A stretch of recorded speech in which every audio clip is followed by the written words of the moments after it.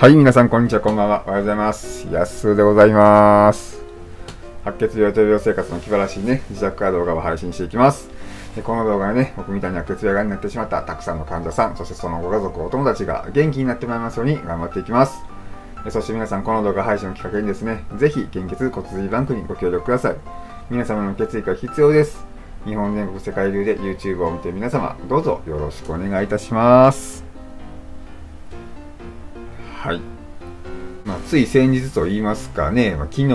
が通院の日やったんですけども、あの、チャリ活を兼ねてね、あの、往復2時間の道のりをね、まあ、寄り道込みですけども、頑張ってきました。最近はね、その歯科と眼科と内科のフルコースでね、それが続いてまして、まあその歯科の予約がね、昨日はですね、朝の9時半からしか空いてなくてね、自覚をですね、8時20分に出発したところですね、9時についてしまいました。今まではその、まあ、55分かかってたんですけども、今回はね、40分で着きましたね。まあ、そのいつものね、チャリカツで体力がついていたんでしょうかね。イエイって感じですけども、まあ、その思いのほか早く着いたこともあって、その受付を済ませてですね、まあ、少しゆっくりする時間がありまして、まあ、その歯科に行く前に、いつものように、あの、採血のね、整理券を取りに行ったらですね、もうでもすでにね、40分待ちでした。9時の時点でね。その病院自体はね、8時半から受付開始なので、もう全部のカーがね、まあ、それだけで、えー、まあ患者さんはね、多かったなと思います。まあ、そんなね、早朝から始まったのにね、内科はね、1時からのね、予約やったんです。まあその、午前中はね、先ほども言いましたけども、その、歯科がね、歯医者がね、9時半からで、で、その、あと少し時間が空いて、えー、眼科か、眼科が11時からだったので、それまでに採血をね、しに行く余裕があったので、まあ、それがスムーズにことが進みましたね。今回のその歯科と、えー、眼科か、眼科の話はね、また別の動画でね、お話ししますね。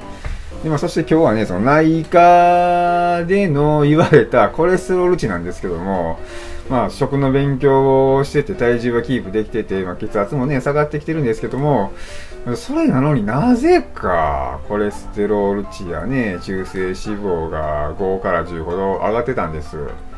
まあ、毎日のご飯とね、体重と血圧か、その3つをね、写真撮ってね、記録して気にはしてるんですけども、まずそれを病院にこう見せるとね、その携帯をね、見せるとね、その努力はね、認めてもらいました。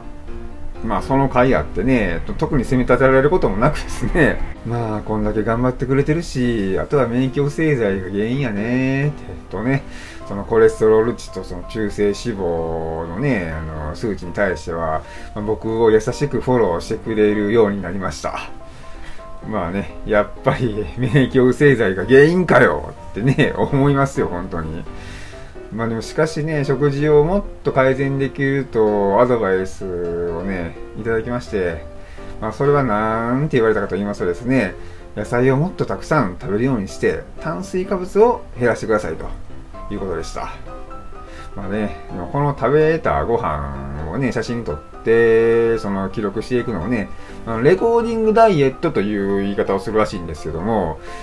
これの写真をね、見返していくとね、やっぱりこう、病院側から言われる通りで、野菜が少ないことがね、改めてね、その写真を見返したらね、理解できました。写真で見返すとね、タンパク質とね、炭水化物がね、9割でした。こう、なんかイメージ的にはね、あのその写真のイメージはね、居酒屋で注文する、その唐揚げあるでしょ、唐揚げね。その唐揚げの横に少し乗ってるキャベツの量とかってわかります？もう、あれぐらいなんですよ。で、どの写真をね、確認してもね、野菜が載ってたとしても、まあ、あれぐらいの、そのそれぐらいの鶏の唐揚げの横にちょっと、ね、先ほど言いましたけど、キャベツがちょろっと乗ってるよっていうぐらいの野菜の量しか、あれ？あれ？ってこう、ずんだ探してもね、それぐらいしか確認できなかったんですよ。それは少ないですよね。で、まあこうやってね、第三者から見てもらって、意見をもらってあら、初めて気づいたことでした。まあね、他人の意見って大事ですよね。そしてね、まあ、中性脂肪なんですけどもね、あのー、中性脂肪はタンパク質が影響してるみたいなんですよ。でも確かに、その、最近はね、その、お鍋の時はうどんも食べるし、まあ、ラーメン屋さんも行きますし、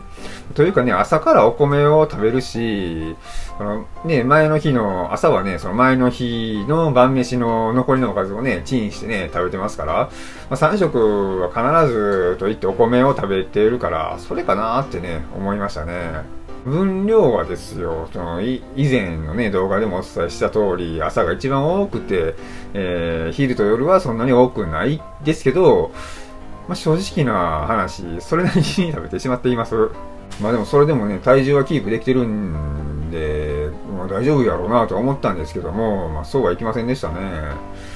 まあ世の中にはね、炭水化物抜きダイエットたるものがありますけども、いやいや、ね抜きたくないし、好きなもの食べて何が悪いの？ってこう、もう別にこう、ボディービルダーちゃうしね、このーんとするような感じじゃないし、別にフィジークっていう大会にも出えへんし、むしろね、筋トレとか今の体の状態ではね、そこまでこうなるほどね、絶対鍛えられへんのでね、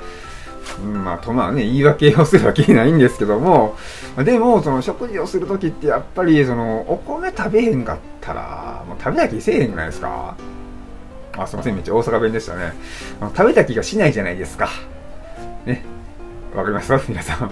その、お米を食べた時のその腹に溜まる感じがそのね、満腹感が得られるのにですよ。野菜で腹膨らまないですよね。また言い訳になってしまいましたけども、まこれも一つのね、方法としてね、ましっかりアドバイスを受け入れて少しはね、控えていきます。まあね、せっかく体重もね、血圧もね、いい感じなんで、何でも試していきます。今日は以上です。えー、最後まで見ていただきましてありがとうございました。この動画がいいと思いましたら、グッドボタンとチャンネル登録をよろしくお願いします。そしてね、この動画、このチャンネルがよりたくさんの方々に届きますことを願っております。本日もご視聴ありがとうございました。バイバイ。僕は元気でーす。